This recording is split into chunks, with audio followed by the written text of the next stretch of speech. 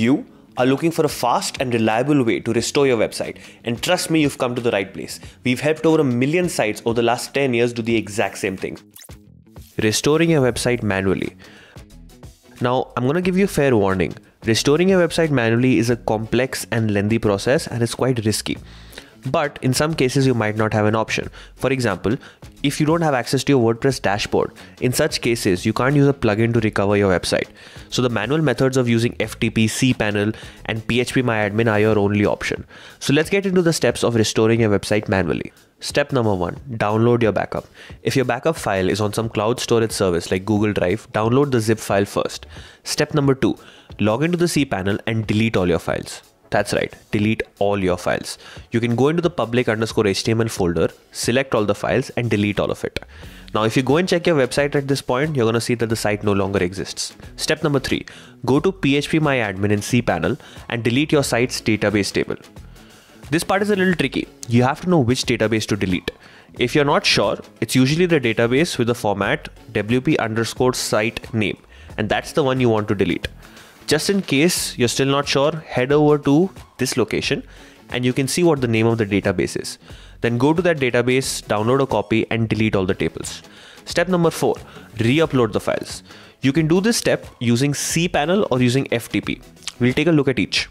If you're using cPanel's file manager, upload the zip file directly to the public HTML folder.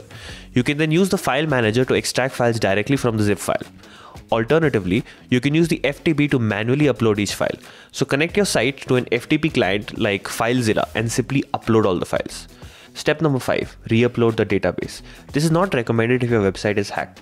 If your website is hacked, you have to create a new database because re uploading the same database will cause a restore attempt failure 9 out of 10 times. Finally, add the database to PHPMyAdmin and that's all, you're done. If you manage to do this successfully, good for you, but this issue might occur again. So this is a great time to start using BlogVault's backup service because it's going to save you a lot of tension later on down the line. If you still haven't been able to restore your WordPress from backup, chances are that your backup might be corrupt. Or maybe you have an XML file which isn't actually a backup. In that case, you can attempt a recovery without a backup and I'm going to tell you how to do that.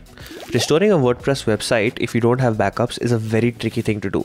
There is no surefire way of doing this. I'm going to show you two of the best ways to do this and in all likelihood you might be able to gain at max 70% of your website. But 70% is better than 0%. So let's get into these two methods. To use Google's cached content to restore your website, head over to this URL and then replace this part of this URL with your website's own URL. This will fetch the last cached version of your site.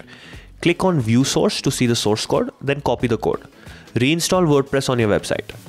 Create a new page and paste the code. For Bing, you can't directly fetch a cached version of your website using a formula. So instead, you need to search for your web page. When it shows up in the Bing search engine, right next to the URL, you should see a down arrow. Click on that arrow. Then click on the view cached page and repeat the same process as before. There's no guarantee that you're going to recover your full site, but you might recover a part of it.